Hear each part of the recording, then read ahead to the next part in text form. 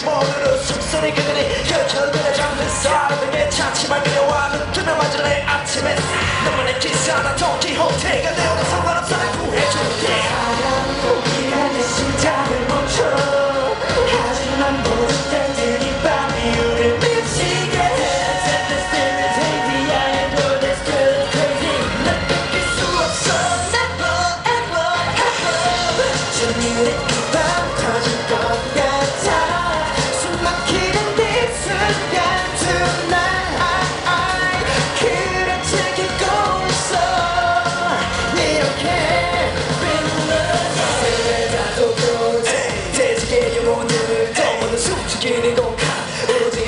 see me counting the night.